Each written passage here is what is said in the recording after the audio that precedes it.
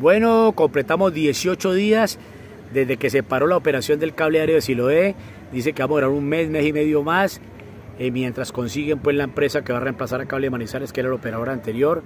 No previeron eso, no hicieron planeación y aquí está el resultado, dejando a la comunidad sin este servicio, igual que a los turistas que han llegado por montones. Bueno, afortunadamente les toca caminar.